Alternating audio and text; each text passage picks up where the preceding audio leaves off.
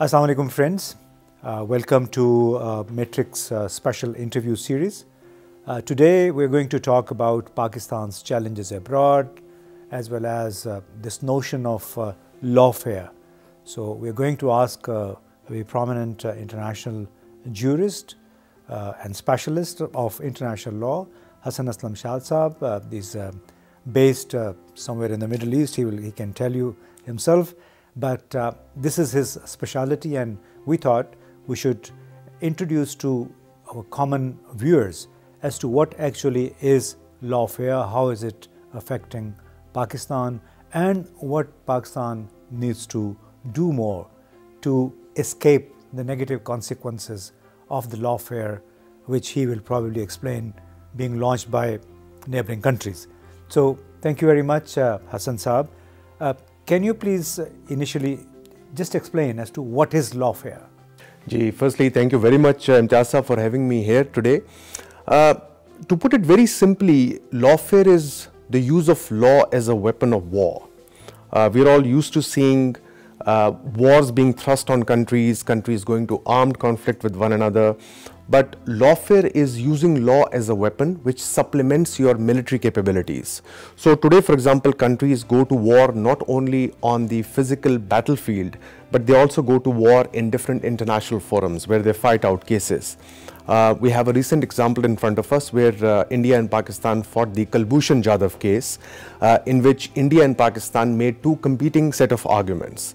So traditionally, we are used to seeing India and Pakistan battle out their differences on the battlefield, but but equally, they also do these battles on the international forums.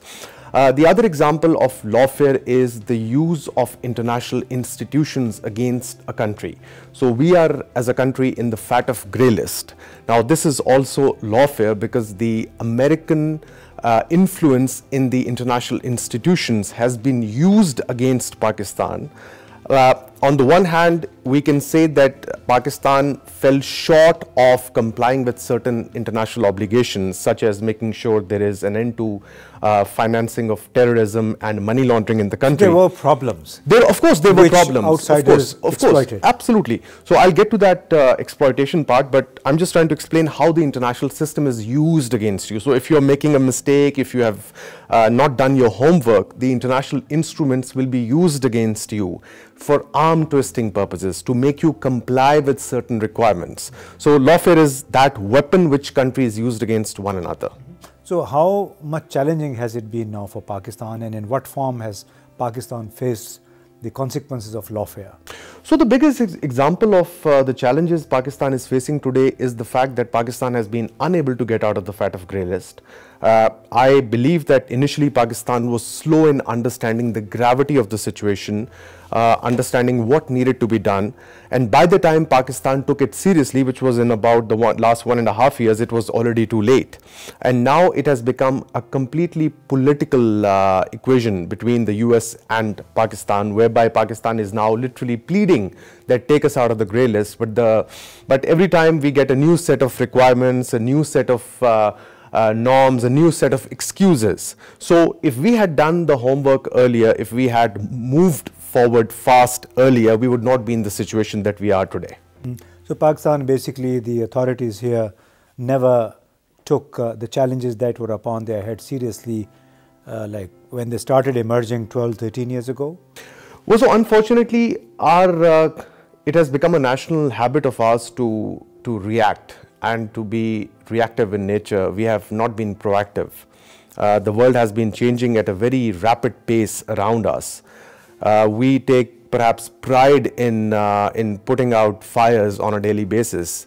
The only problem is that the fires continue to emerge and once you've set, put out one set of fires, then you have another set of fires emerging.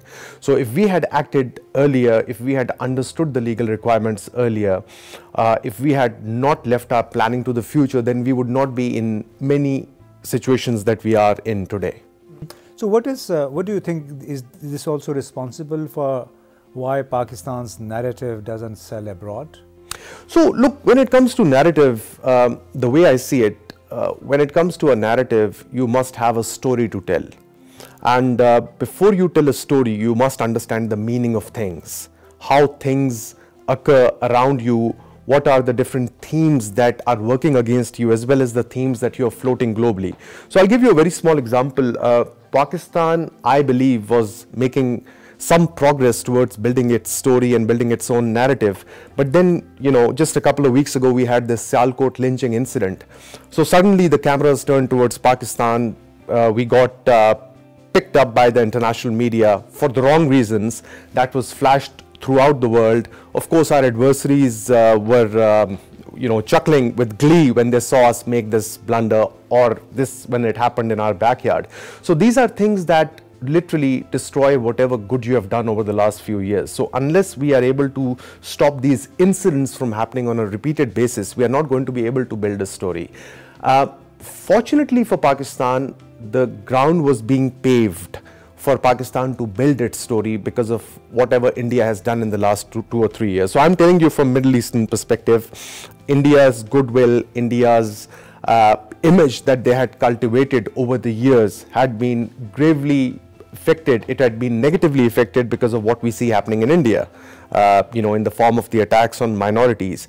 But frankly, if you ask me, I don't think we did enough to leverage on their follies. What happened, what was happening in India was a God sent opportunity and a blessing in disguise for Pakistan? Yes, it was. And uh, and look, I mean, if India is bad, that does not automatically elevate Pakistan in the global stature. India and Pakistan are seen by the world as two standalone entities who are always at daggers drawn and at one another. But India's loss does not automatically transform into Pakistan's gain. We ought to have done a lot more, which we unfortunately did not do. And this is something that I have been trying to sensitize uh, people in Pakistan who matter that look, you have to do certain things to project yourself globally. And one of them, of course, is to stop incidents such as the Sialkot incident from happening because these small incidents, in fact, I'm not saying it's small in the sense that it was not consequential. It was a very horrific and a very sad incident. But, but isolated incidents like these, which may not be a state pattern, they still end up negating whatever goodwill you have generated over the years. So this is one of the problems that I see. Uh, and the second problem we have, uh, Imtiaz is that we do not have a global voice. We don't have an international media presence globally which can tell our story to the world. We sadly are on the back foot and every time something comes against us, we are only responding through articles and we are responding through some uh, uh, shall I say, you know, statements which don't really carry much weight. Now, this is not how you counter the, the hybrid lawfare or the narrative or the, or the challenges that are thrown on you globally. So what's the reason for that? I think it's I think it's because we as a nation have not been able to understand our purpose. We have not been able to understand the fact that uh, uh, the Quaid, when he mentioned uh, unity, faith, and discipline, he did not just mean it in a rhetorical sense. He actually meant it as the, the, the foundational principle on the basis of which we must forge ahead as a nation. Uh, partly because of the the, the uh, existential threat that we face from India and partly because we were not able to institutionalize uh, ourselves as much as we should have, we were not able to move in a, in a straight line. We have been going all over the place and none of our institutions is, is above individuals who are governing them on a given day. So whatever we have is the result of individual mandates, people who are telling us what needs to be done. We, we see around us, and this uh, basically is across all political parties. We have individuals whom we follow because we don't see that institutional strength uh, that can unite us. So unfortunately, the fact that we have not been able to build on our institutions is the reason why we are not able to tell our story. But is it the only reason and how much of it has to got to do with geopolitics? Look, geopolitics is a constant. It's always going to change. In today's world, uh, the challenges are going to be increasing by the day as we see around us. So we can't stop America from causing it in, you know, causing further with India. We can't stop the global alliances around us that are taking place at a rapid pace. But what we can do is we can, we can strengthen ourselves from within and we can have a bold face in front of the world. And when I say bold face, I don't just mean it from a force posture perspective, I mean from an intellectual perspective.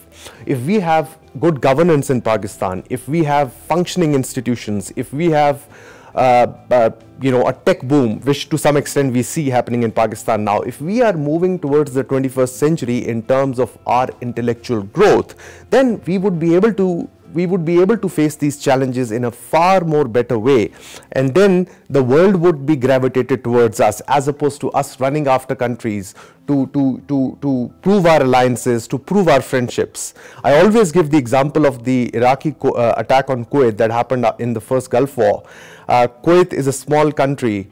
Uh, when it was attacked by Iraq, the, the world came to its rescue. It did not need a huge army to defend itself. The world came to fight for us, for, for it. So if we are strong from within, if we have institutions, if we have a robust economy, if the world sees us as a potential venue of investment, uh, of collaboration, then of course we don't, our job is automatically done. This is uh, so true. Uh, I think you're, you're hitting the right chords.